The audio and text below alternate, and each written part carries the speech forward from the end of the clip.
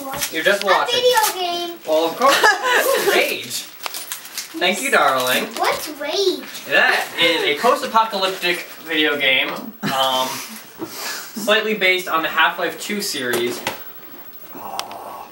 Nerdy, nerdy, nerdy, nerdy. And everything in the game is hand-drawn.